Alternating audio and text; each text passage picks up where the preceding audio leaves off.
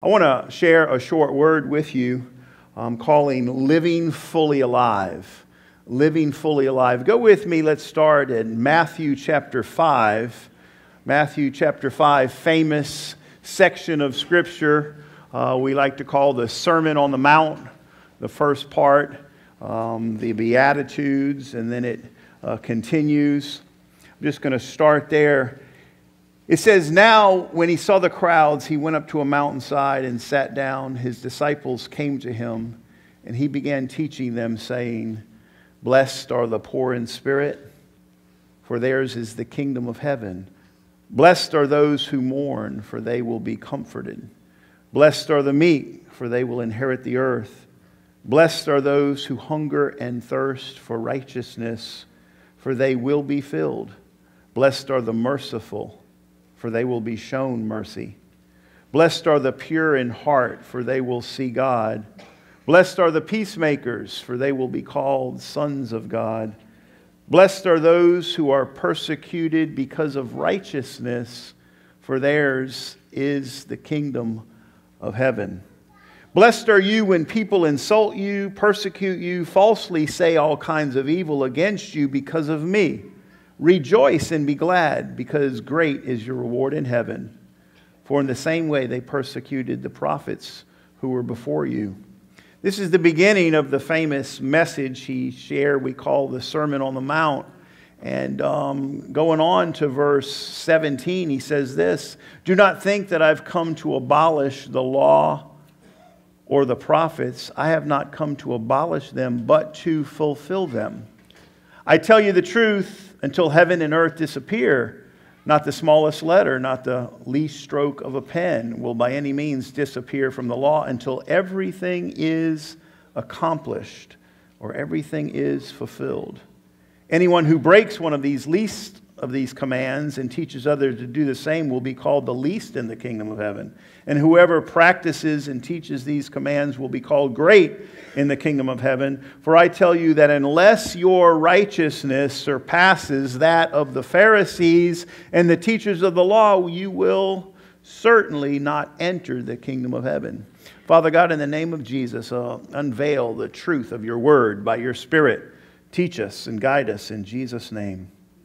That was a difficult saying when he said that, unless your righteousness exceeds that of the scribes, the Pharisees, the teachers of the law, it says, You will certainly not enter the kingdom of heaven. Well, here we have the standard of righteousness. What he's showing is the law of God and all its commandments of the Old Testament that he said would never be abolished until they're fulfilled. And then the Pharisees and the teachers of the law were the ones known at the time who understood it better than anyone else. And they were keeping not only uh, the laws the best they could, but then all their own interpretations and versions of it themselves. So they appeared to be righteous following the law by everybody was looking at them. And now Jesus comes, this new rabbi comes in town who has the authority to preach and teach. People are seeing the miracles he's doing. And he's saying, You have heard it said like this from your rabbi, but I tell you, this is what it really means. This is the way the rabbis taught. The rabbis taught maybe there was a new rabbi, and they all agreed and believed in the Torah and the law, but they all had a little twist of how they interpreted it. And when the new rabbi came, Jesus Christ comes in, and he's, they recognize his authority by what he's done and, and what he said. Now they're saying, look, he's saying this is what the law really means, and he brings it even to a higher standard. So he's saying, unless your righteousness exceeds, the law, the Pharisees, and the, you have no way that you can enter the, everybody's no way to enter the kingdom. Man, those guys keep the law better than any of us that we know. How can we enter? Wow. So he's say, saying that none of this will be done away with till it's fulfilled. But I'm telling you, the only one who's ever kept it, the only one who's ever obeyed it, the only one who was able to follow all of it was the one who created it all, and now he's standing before him, and his name is Jesus. Jesus, God in the flesh, it's God's law, it's his standards of righteousness, and none of mankind, not the Pharisees or the scribes who wore the long robes, who looked like on the outwardly they were keeping it. Jesus saying, unless your righteousness is more than them, you cannot enter. Another way he was saying, as it is, no one can enter. No one can enter. All have sinned and fallen short of the righteousness, the righteous requirements of the law. And Jesus even interpreted it to a higher level where the law was talking about the outward signs of the sin, but Jesus took it a degree further and showed it was the spirit of the law saying, hey, you've heard it said, do not murder. I'm telling you, don't hold anger against your brother. You've heard it said, don't commit adultery. I'm telling you, don't lust in your heart. You've heard it said, don't swear by this or make a pledge or an oath by the temple or this. I'm saying, just let your yes be yes and your no be no. So he was taking the law as strict and it seemed to be impossible for man to follow and it was because of our nature was sinful and we couldn't keep it even the most religious of the day he said they didn't make it he was taking that law and he was bringing it even higher, where it's not just the outward signs of doing it, it's the heart of the matter. And now he basically puts everyone in the same boat, short of making it. But praise God, the good news is he made it. He created the law. He came as one of us, as a man, and he fulfilled all of it. And then he abolished it. He fulfilled all of the law. He came not from the seed of Adam, not from the fallen nature of man, but he was born of a virgin. The seed and the word of God became flesh and walked among us. So while the temptation came from all over, the same temptation that tempted Adam in the garden tempted Jesus in the wilderness, the same devil, but he didn't have the nature to yield to it. He had the very nature of who he is, of God himself, and he walked and he defeated the enemy and he lived the perfect life.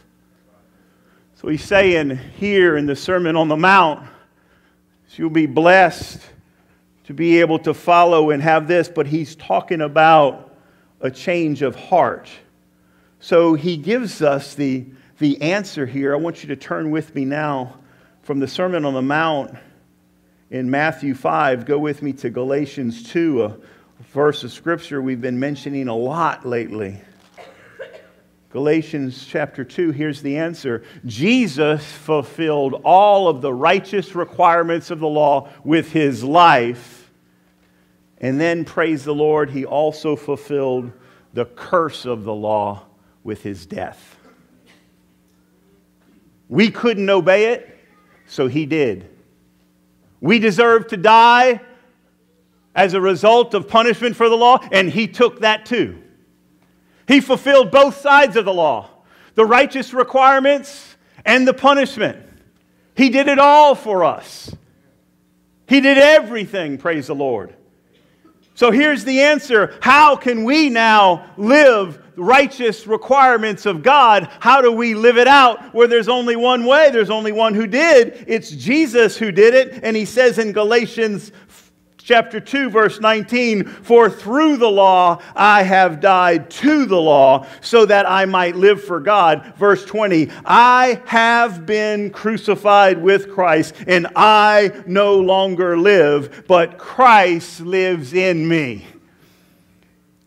Do you get it He's the only one that could fill all the righteous requirements of the law. He's the only one who did. No man could. So he died in the place of all man. And then with him, our sin nature was put in him and buried and killed with him and died. And now when he resurrected, we were resurrected a new creation. And now it's not you that live. It's not I that live. Now we can keep the law. We can fulfill the spirit of the righteousness of the law. Why? Because it's not you doing it, it's Christ who lives in you.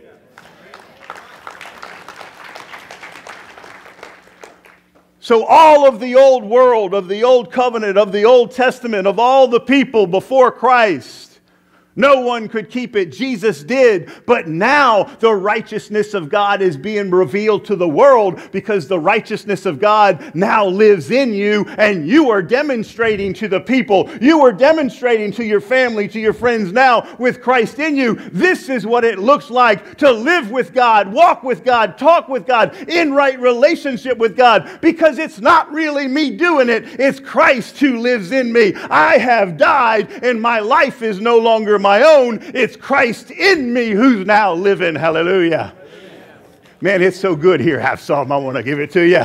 Just have some. The life of God is powerful, it overflows out of us. And see people come out of darkness and get touched with the light, and their life is transformed. Why? Because what I'm talking about is supernatural power of the living God living in me, flowing out of my mouth and touching you right now. This is not just some religious motions we're going through. I'm talking about Jesus Christ, the living God, living in the people of God. And now the righteousness of God is walking around the earth today. Don't you know the Bible says that you are the righteousness of God in Christ Jesus?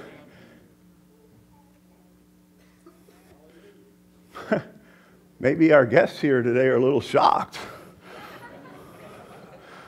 You can drive back next Sunday and get some more.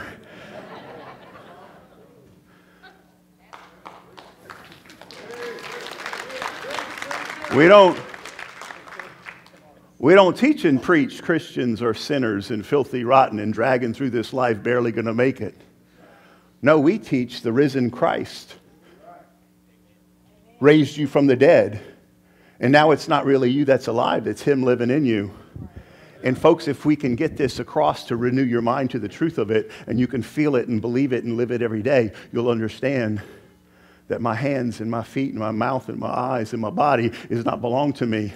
I've died, and now I've been resurrected, and Christ lives in me. That's who we are. Why do people live short of the glory, short of the victory? Because they don't know this word.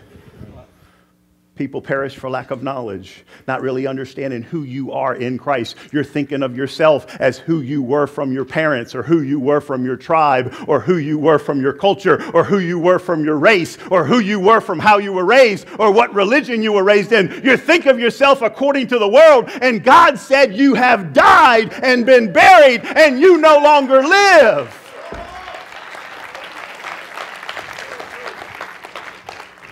How can you continue to do drugs when the drug addict in you is dead? You'll never have a problem again if you just believe this truth of who you are and quit letting the devil lie to you of who you were. How do we get there? How do we live this full life? Well, I've been teaching a series on it for the last several weeks. I'm going to review. Number one, we must believe by faith that his blood God provided for the remission of our sin. So we have forgiveness and pardon from our sins in the past, any sins in the present, and whatever stumble we might have, sins in the future, have already been remitted by the blood of Jesus Christ. One. Two, we must also believe, as much as we can accept the blood has given us forgiveness, we must also accept that his death has delivered us from the sin nature you're a guest here today, that's what a lot of Christians don't get. We can believe in the blood that He's washed our sins, but we have trouble believing that His death crucified and killed our old nature. And when He died, you died with Him. That's scriptural, that's word. It's hard to fathom with our natural mind, but I'm talking about a, this is supernatural. It's beyond human scope of self help, of getting yourself right, of quitting a bunch of old and trying to form new habits. No, it's about the old is dead and the new becomes life, and the new because it's Christ in you. That's why it's new, because it's not you anymore, it's Christ in you. Amen. I get a couple of this is good preaching, man. It's all through, it's in the Word. Hallelujah. It's not my message, it's the Holy Spirit through the Apostle Paul. So by his blood, you have forgiveness. By his death, you've been delivered from the sinful nature. The cross, last week we showed, is the great divide, his burial. So by his burial, everything from the old life, everything from the old realm, everything from Adam to Jesus, everything of the old world has been drowned. Just like Noah's flood is a picture of what baptism is today. Everything was flooded and they walked out to a brand new world. Man, when you were baptized, everything of your past was drowned and gone forever, and you woke up to a brand new world with a brand new spirit. That's a, keep that picture in you right now. Dwell on it. Write it down if you need to. Put it on your forehead and look in the mirror if you have to, whatever it takes. Just write it backwards so you can look in the mirror, you can see. Praise the Lord. By his blood, we have remission. By his death, we've been delivered from our old nature. The great divide, by his burial, everything in the past was drowned. By his resurrection, we have the newness of life. Everything in that cross, burial, resur- by his resurrection, we have the new life, and it's no longer yours, people. Christians. It's not your life given back to you after you come through a rehab and now you go back to your life without drugs. If that's what you think, you've missed it. Amen. It's your life has been has been killed, crucified, died, and buried. And now the life you have is not your own, and it's not for you to make the decisions of what to do with it.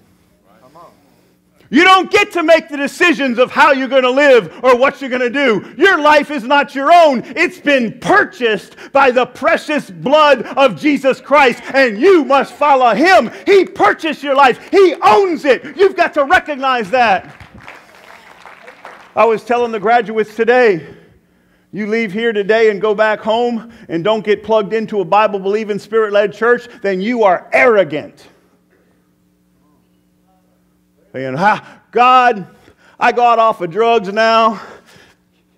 You freed me while I'm fresh start, but now I don't need you. I don't need your word. I don't need your church. I'm just going to, hey, I'm going to choose my own way like Adam did from the knowledge of my own good and evil, how to live and what to do and how to think and where to go. No, my, I'm taking my life back and I'm going to do it my way. Those of you who don't get in a Bible believing, spirit led church, I don't care if your parents don't go or they go to some dead religion. Get out of there and get to where you can hear the word and be fed or you will die.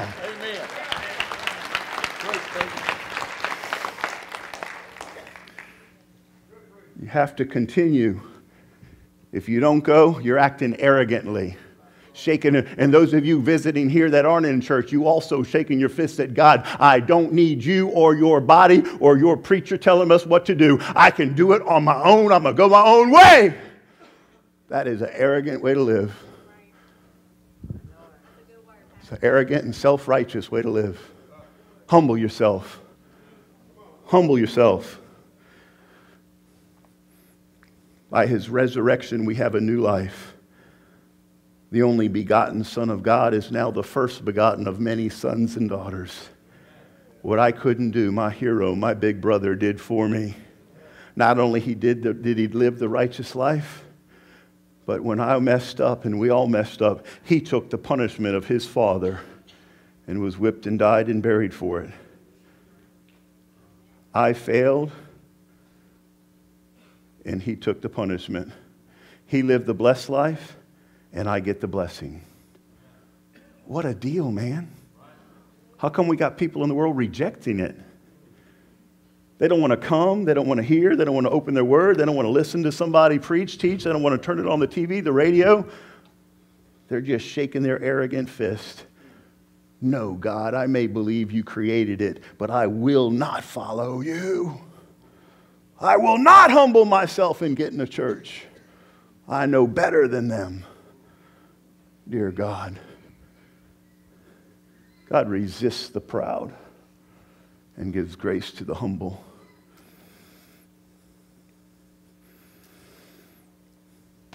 Now, The righteousness of the law has been fulfilled in him. Now it's revealed in us a higher standard than the old law. It's gone higher than that. Now it's the love of God. All the law is fulfilled in this love your neighbor as yourself. Love your neighbor so much you'll take in the drug addict. You'll visit the, the, the poor. You'll visit the prison. You'll reach out to the lost. You'll help. Love your neighbor. Do unto them as you'd have them do. Whatever you do for the least of your brother, and that's we've done unto you. So we demonstrate the righteous requirements by loving our neighbor and having it being fulfilled as we give it to others. Man, get involved in a Bible believing, spirit led church that's reaching some folks. You go into a church that has a few old folks that are dying and nobody's doing anything reaching young people. Get out of there and find one that's reaching out to some folks, that's doing something for the kingdom. God is a good God, and He's going to be reaching people wherever He's at. Hallelujah. Now, praise God. We get there, folks, by this living fully alive, one by knowing the facts of our faith. I've already mentioned we know about the blood. We know his death delivered us. We know the crosses that divide and the, the burial washed everything. We know by his resurrection we have newness of life. But not only knowing it, then we must reckon it. Reckon ye yourselves to be dead to sin and alive to God. Reckon it isn't some country slang for kind of think of it that way. I'm not talking about I reckon it to be so. I'm talking about a reckoning, meaning an accounting term where because it's a fact, you can put it in the bank and account for it. I'm talking it because it's a fact. Now you reckon it, you put it in your account, and you recognize, I have this. I have eternal life. My sins are washed. I have died to sin. I am alive, and I consider it mine. It's in my account. When God looks at me, this is what he sees. I am not who I used to be. I am. I believe it, and now I can reckon it. So I know it, and then I reckon it, and now the last step in closing if I believe this and I, I know it and I can reckon it to my account, I can account it as so and speak it with faith. The last step, praise God, Romans chapter 6. And I'm going to close with this. Romans 6, verse 13. Let me back up just a little bit. We'll start in verse 11, guys. Go to back to verse 11 on that screen. In the same way, count yourself or reckon yourself dead to sin but alive to God. He wants you to know it and He wants you to account it as so and continue thinking this way for the rest of your life. I'm dead to sin and alive to God. Therefore, do not let sin reign in your mortal body that you obey its evil desires. Verse 13, do not offer, everybody say offer. The King James says present. Do not present the parts of your body to sin as instruments of wickedness well, they don't belong to you. They've been purchased with the blood of Christ. It's not yours to do with. Your body, your parts, your gifts, your talents, your construction work, your intellect, your business sense, everything is no longer yours. You've been purchased by the blood of Jesus Christ. Consider yourself as His and not your own. It'll cause you to live differently every single day. Do not offer yourself or present yourself to sin as instruments as, as wickedness, but rather offer yourself or present yourself as those who have been brought from death to life. You see that? Put the King James Version up for just a second. It says it this way Neither yield your members as instruments of unrighteousness, but yield yourself unto God as those who are alive from the dead. He wants you to think of the, the, way, the same way I'm telling you now, that you have died and now you're reborn alive from the dead. So now we present ourselves to God as, hey, you're the one. You did away with my sinful nature. You did away with my addiction. You've given me a new life in Christ. So I now present present myself and offer my instruments, my hands, my feet, my mouth, my mind, my business, my money, everything I have. Lord, I offer it to you as an instrument of righteousness and no longer of wickedness. Do you think that would be reasonable? In light of what Christ has done for you, is it be, would it be reasonable that you consider yourself dead and now you're reborn in Him? So if you're reborn in Him, that your body, your mind, your business, your talents, your gifts, your money, your abilities, it all belongs to Him now and not you? Does anybody think that's reasonable? Would it be fair? Would it be right? If you were on your way to hell and your addiction and your everything, and Jesus died for you and he shared the good news and you believed it, hallelujah, and you received that life, praise God, and so your old way is dead and you've been reborn in him, wouldn't it be reasonable to now offer yourself or present yourself back to him each day and say, Lord, this day belongs to you. My mind, my mouth, my will, my emotions, everything is now yours and no longer mine because it's not I that live, it's really you living living in me.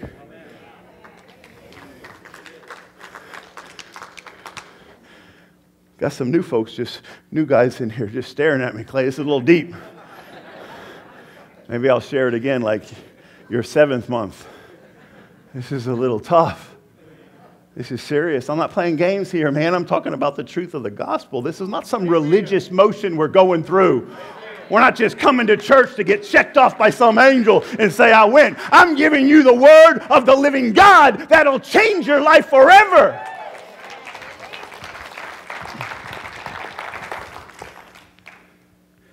Praise God. This is what it means to be holy. Verse 19 says this I put it in human terms because you are weak in your natural selves for just as you used to offer your parts of your body in slavery to impurity and to ever increasing wickedness, now offer them as slave to slavery to righteousness leading to holiness. You used to offer your brain and your lungs and your lips and your dips and your stuff and your mind and your body and your stuff to wickedness. Now he's saying you're born again. Offer everything to righteousness for Christ. Offer it all to him. Romans 12:1.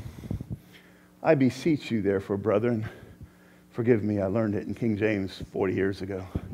I urge you, brothers and sisters, by the mercies of God, in light of what he's done for you, to present yourselves a living sacrifice.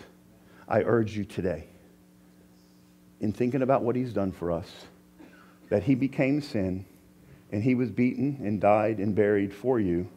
And then he rose to give you new life. If you've received that new life, then I urge you to present yourself, your whole self, all your abilities, talents that he gave you anyway. Lord God, I, I give it to you. I give my new life. It's all yours. I present myself to you for your glory. How do you want me to live? How do you want me to treat my wife? How do you want me to raise my kids? What church would you have me to go to Sunday? I'll obey you. What do you want me to read this week? Which television show would you like me to watch or not watch? Who do you want me to hang out with or not hang out with? What small group would you like me to get involved in that I can read and grow with my brothers? Lord, should I be involved and get plugged into church and learn and grow, or should I Want me to do this on my own? I'm telling you the answer already because I know. I've been walking with him for many years. I know he wants you plugged in. Do not forsake the assembling of yourselves together, like the matter of some are in the habit of doing, but much more as you see the day approaching. Hebrews 10. Don't be in the habit of forsaking assembling together like some in your family and friends and relatives are involved in. Don't be like that. But get involved in a live group, in a small group, in a church that's doing something much more as you see the day, capitalize the day of his return. As you see it approaching, we need to be involved more, not less. Because things are getting shaky out there. And if I could prophesy to you, it's going to start shaking harder in the next few years. You think they're shaking now? It's going to shake so much that the only thing left standing is those who are standing on the rock. Everything that can be shaken will be shaken, and the shaking has already begun. It's not a bad thing, it's a good thing. Things are shaken, and as things shake, nations are waking up and looking for the answer. And the harvest is taking place now. I'm prophesying to you. Receive it. Hallelujah. It's taking place right now. Present yourself as instruments of righteousness. This is your reasonable service in light of what he's done. Do not be conformed to the pattern of this world any longer, but be transformed by the renewing of your mind. And you can know his perfect will for your life. You can know his will, his ways. You can know him and you can walk with him. He's not a faraway God that we can't approach. No, through Christ we can walk with him. We've been reconciled as Christians to him. He lives in us. I'm challenging you to be aware of his presence each and every day and present yourself. Lord God, it's your life in me. I present myself to you. Live through me. Do you want me to help someone? You want me to bless someone? It's your life in me. Lord God, I'm looking around at these people right now while I'm praying with my eyes open. Hey, I do that sometimes. You can don't bow your heads, don't close your eyes. Just look at me. I'm praying right now. What's prayer? I'm talking to God. Lord God, you see these folks and you heard this word that you gave me to give to them. Lord God, that we have as Christians, we have died, we have been buried, we've been born again, raised with Him. Now it's you that live, uh, live in us. Lord, we present ourselves together right now as instruments of righteousness for you. Lord, we couldn't live by the law before, but praise God, now the righteousness requirements of the law is fulfilled in our daily life. It's because you're in us. Help us, Lord God, to reveal your glory to the world around us. In Jesus' mighty name, I love you all. Have a great day.